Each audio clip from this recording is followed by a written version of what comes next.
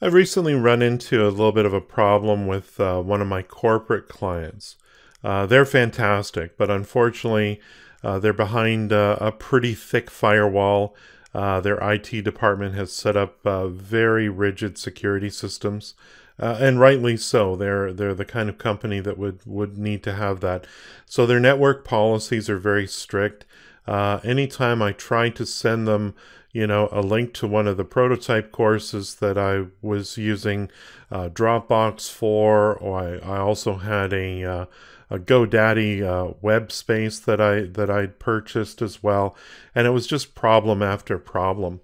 Uh, Google Drive is another thing, and and of course that's uh, you know the the functionality of these Dropbox type solutions, uh, they're really not ideal for, for housing your e-learning, even if it's just for demo purposes.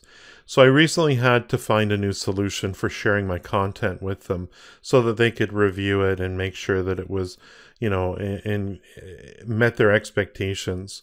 Now I have to give credit where credit is due. This solution was born out of a similar video put out by the folks at Articulate. When publishing Adobe Captivate courses, there are a couple of small differences and uh, considerations that I think you need to make. So I thought I would make a short video that's sort of a part two to their video, but I obviously want to make sure that you're taking a look at their original video uh, that they have up on YouTube. And I'll provide you guys a, a link to it here.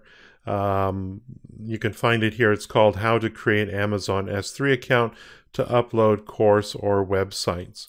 And it's a good video. Obviously, it's Articulate centric.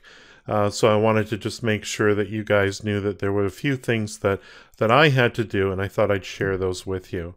Uh, so the first thing that you're going to need to do, and again, for greater detail, watch that other video, but you'll need to sign up for an Amazon Web Services account.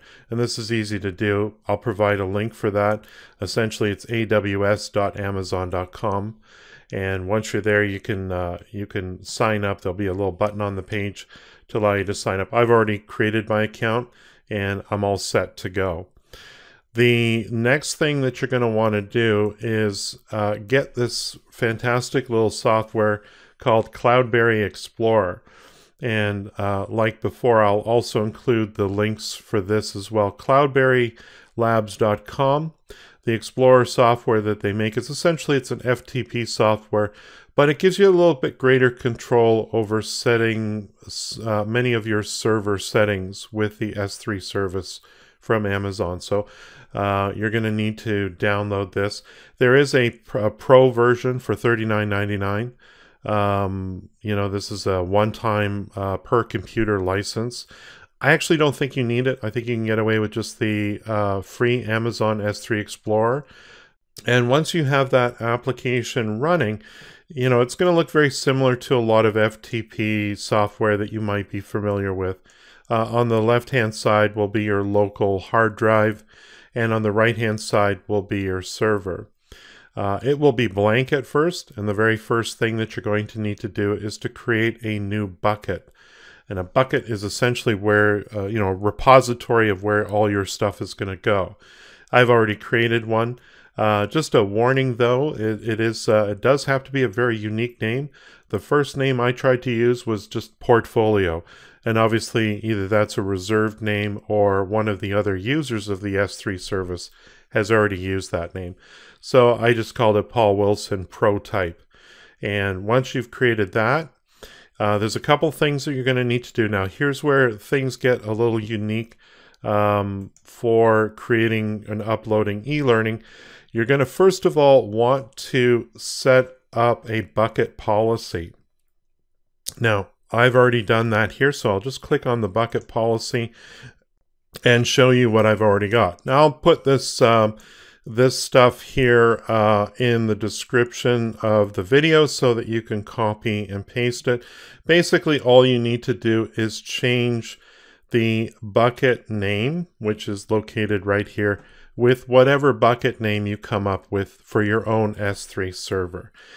All this does, and the purpose of this is it allows um, it allows all other users to see your content. Now that sounds like a security concern, but it's just basically website stuff.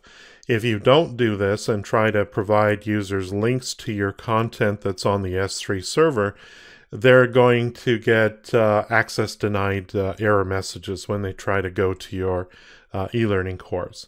But once you apply this policy to your entire bucket, any of the folders, and you can see here I've dragged over the e-learning courses that I, I'm going to prototype with my client here, and then of course everything works fine.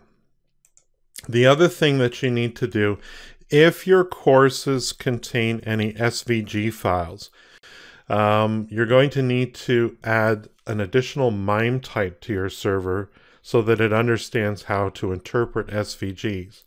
When I first tried this and launched my, my e-learning course, uh, the pages loaded fine, but every page that contained an SVG, which in my case was most of them, uh, it tried to download the SVG rather than displaying it.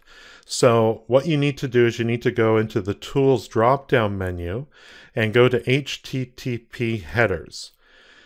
And at this point, what you're going to do is to add an HTTP header. You're going to give it a name, SVG, and you're going to add the value of image slash SVG plus XML. The XML part is because SVGs are essentially XML files. And then click OK and save that. And that's going to show up as a user-defined uh, MIME type or HTTP header. And I can double click and show you this. This is image SVG XML. And then from that point forward, because you've applied that to your whole bucket, your whole uh, S3 server, all SVG files will display properly. And then, of course, once you've done that, you can continue to add additional prototype courses or portfolio samples uh, to your heart's content.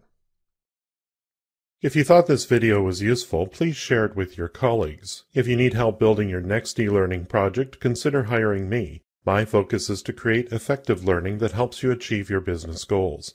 Visit my website at paulwilsonlearning.com. Follow me on Twitter at Paul Wilson LD, and don't forget to subscribe to my YouTube channel.